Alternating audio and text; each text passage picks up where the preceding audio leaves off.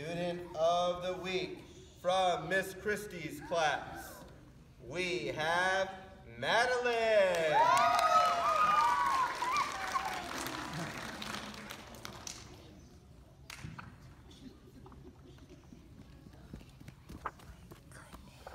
Student of the Week from Mrs. Stevens